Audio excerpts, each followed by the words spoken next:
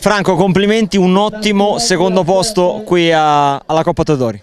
Sì, sono contento, felice perché ho fatto una bella gara.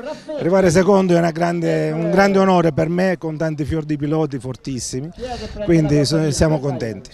Mi sono trovato bene, un bel percorso, lo conosco oramai bene, non dico al 100% ma lo conosco bene, è un bel percorso. Tu hai una grande esperienza, cosa ha in più diciamo, di eccellenza la Coppa Polino Todori rispetto alle altre gare?